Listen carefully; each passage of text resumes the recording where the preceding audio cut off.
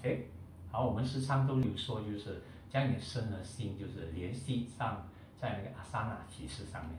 那什么叫联系上呢？要比给一个很简单的一个呃呃例子哈，比如说你做高达萨那，是上半身而已啦。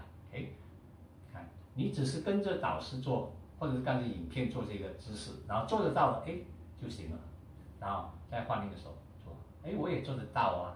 还是说当你做的时候，对不对？你会感觉到说，当你每一个移动的时候，比如说你的那个啊手肘放在手放在这个弯上面，对不对？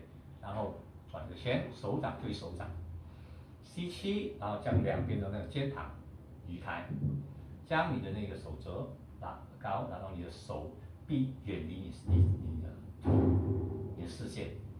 吸气的时候，你能感觉到什么部分在框张着，什么部分 OK 会开始收紧吗？呼气的时候为什么不一样？吸气的时候为什么不一样？呼气的时候会有什么不一样？哪里边比较紧，哪里边比较松？好，放回来，是哦，哎，转去另外一边，哎，将手手放在上面之后，哎，将肩膀移开，为什么要移开？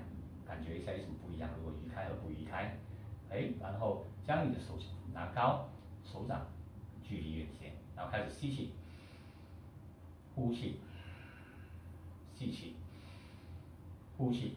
你会感觉到什么地方是越来越紧了？有些地方是越来越松了，对不对？然后放开之后，停一停，开始吸和呼，和之前还没有做这一个呃这个体式的时候有什么不一样？